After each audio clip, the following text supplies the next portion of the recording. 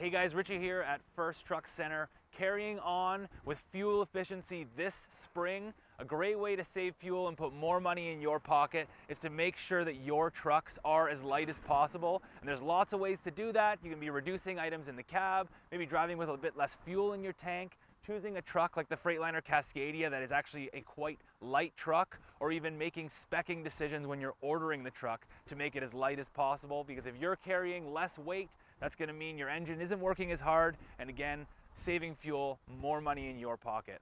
If you have any questions about fuel efficiency or aerodynamics, give us a call here at First Truck Centre.